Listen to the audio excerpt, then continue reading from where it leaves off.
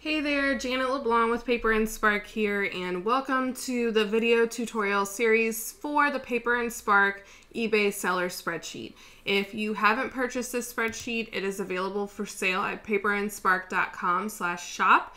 And if you have recently purchased it, this video tutorial series is going to walk you through exactly how to use this spreadsheet step by step and hopefully answer any questions you have about it. Now in this quick video, I'm just going to give you a brief overview of how the spreadsheet will work and all the files and resources that are included for you in your purchase. Um, and then the next video will start to actually go through the step-by-step -step process of how to use it. This includes the spreadsheet file itself, which can open up in Excel, Google Sheets, or Numbers. You can use this .xlsx file in any of those.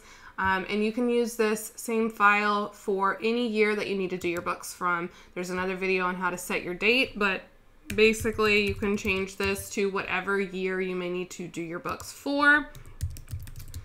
Um, you can just save a new copy of it and rename for that new year and enter that date in this pink cell here. Your purchase also includes step-by-step written instructions if you prefer to read instead of listen or if you need a refresher and just want to go back and read. Um, you can access the link to the Google Doc eBay seller instructions with your purchase. At the very bottom of these written instructions, you'll see a getting started cheat sheet just to refresh you on what to do when you first open your file and a monthly bookkeeping cheat sheet, which will have just a quick checklist on what you do each month. If you forget like where to find the report and you don't feel like sitting through the videos again, you can use this monthly cheat sheet for that. Your purchase also includes access to the Accounting Accountability Club, which is a Facebook group where you can get support for any of your bookkeeping or spreadsheet questions. Um, you should have gotten a separate email after purchase with information on how to access that. If you have any questions about it, let me know. You need to re-download your file or download the instructions or access an international version or access an updated version. Anytime you need to find your stuff, you just want to head to paperandspark.com, click on my account, and then log in with whatever email address you used at the time of purchase and click on spreadsheets. Now, if you purchase this file over on, on Etsy instead of on paperandspark.com, you will need to email us to set up that account for you. It won't happen automatically. Unfortunately, my website and Etsy do not speak directly to each other, um, but you can email us at support at paperandspark.com with your proof of purchase information, and we can get you set up with an account here at paperandspark.com. Once you have an account here, you click on spreadsheets and you will see links for anything that you have purchased in the past. I don't have the eBay one set up yet for this video, but let's pretend this says eBay seller spreadsheet. You click on eBay seller spreadsheet, you'll see a maintenance log for any changes that have ever been made to the file. You will see a link to the written Google Docs spreadsheet instructions, um, and you will also see the video tutorials at the bottom, and then the actual files available for download will be available here as well. Um, we'll have the eBay seller spreadsheet. We will definitely start out with a UK and Canadian version. If you're located in another country and you don't see the version that you need here, um, just email us at support at paperandspark.com and we will get that set up in your account for you have questions about your spreadsheet as you're using it that aren't answered here in the video tutorial series or on the spreadsheet instructions, then the first place to head is the FAQ and knowledge base on paperandspark.com. Um, answers to most of your frequently asked questions will be found in here.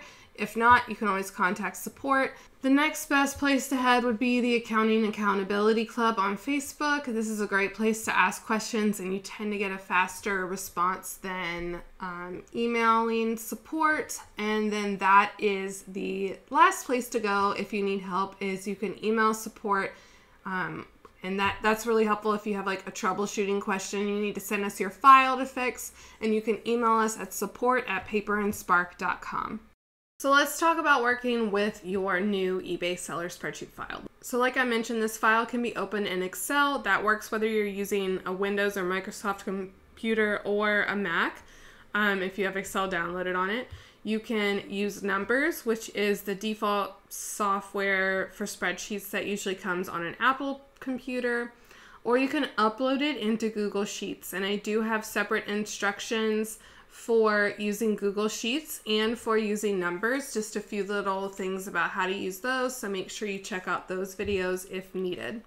I will be showing you how to use the spreadsheet in Excel, so don't be thrown off if you're using something different or for any reason your spreadsheet software or file looks slightly different than this. It, it may look a little bit different, but it will work basically the same way, so don't, don't be worried about that.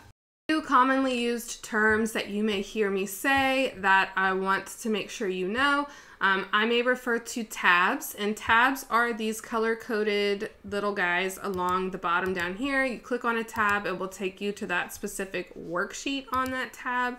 Um, don't be alarmed if your tabs are across the top. It will do that in both numbers and Google Sheets. And if you're working in numbers, you won't see the pretty colors. Unfortunately, I think they will all be gray. Um, but those are what tabs are. If you're working in a smaller window, you may not even be able to see all of the tabs um, on the most right hand side. So you will need to use these little arrow guys to scroll to see them all. That's totally fine if you're not able to make your window bigger. Another important term are rows. So these little horizontal um, collection of data here are rows, and these are the row numbers. Um, so you may hear me refer to going to a specific row sometimes or data populating on a certain row. Um, and then vertically, we've got our columns. The columns are usually sorted by month, but those are rows, columns, and these guys down here are tabs.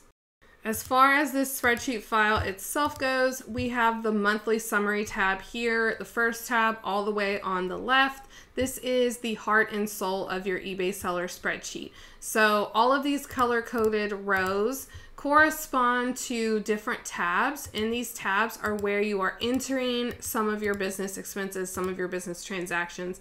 Anything that you enter on these tabs should travel as a monthly sum uh, over to the applicable place on your monthly summary tab.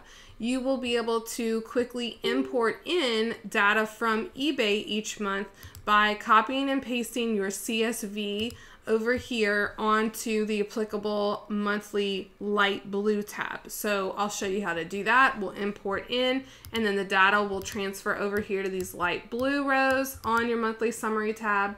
We'll cover all of these things in depth but that's a general overview of how this monthly summary tab is going to work. Um, it's broken up by revenue and then expense sections. I'll make it smaller again. So revenue is where you'll either be importing in or manually entering in all of your sales.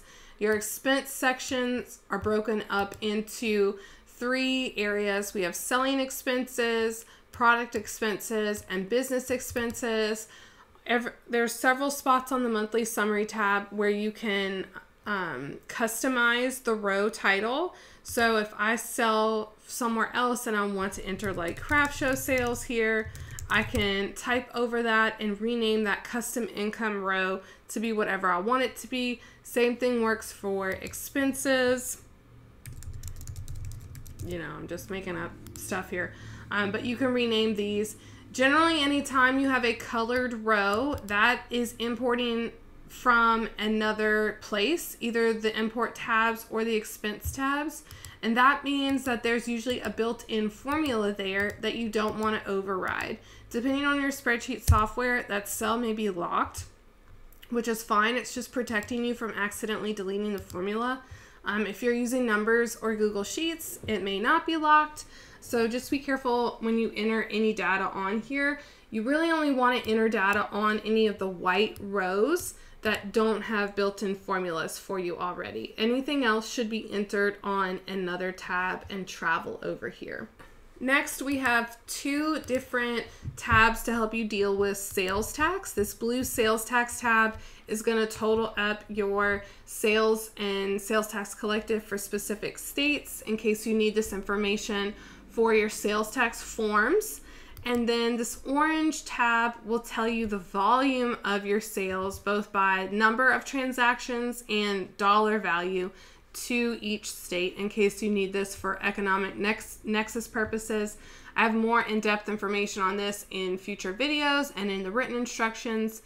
Finally, we have this budget tab here where if you want to, you can set a budget for whatever different expenses you want to within your business and it'll track the actual spending based on what is showing up here to the amount that you budgeted.